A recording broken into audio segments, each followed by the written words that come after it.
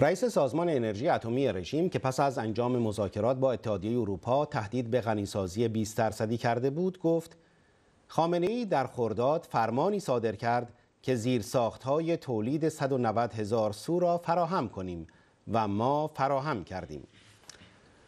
روزنامه کیهان به تاریخ 8 آذر ماه نوشت علی اکبر صالحی گفت اگر دستوری صادر شود که برجام تمام شد و بروید کارتان را بکنید خیلی راحت می توانیم بازگردیم و این بلوف نیست.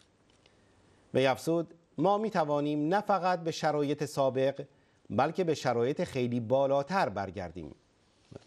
الان خامنه ای فرمانی را در چهاردهم خرداد ماه صادر کرد که زیر های تولید 190 هزار سو را فراهم کنیم که ما فراهم کردیم.